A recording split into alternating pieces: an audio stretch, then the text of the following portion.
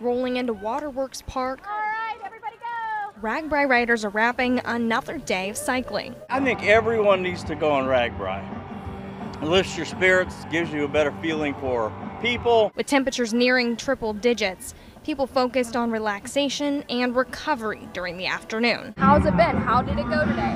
hot. But as the sun lowered in the sky, the energy at Water Works rose.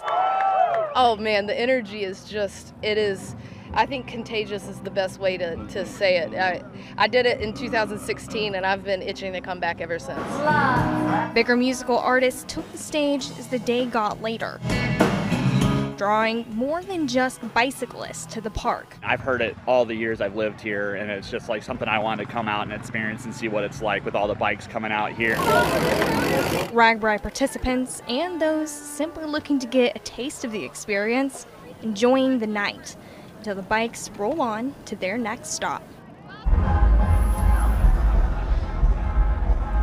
Last performance on the night is on stage right now. Lynyrd Skynyrd back here behind me and a few friends as well. Your party is going to keep on going far later than they'll be on stage.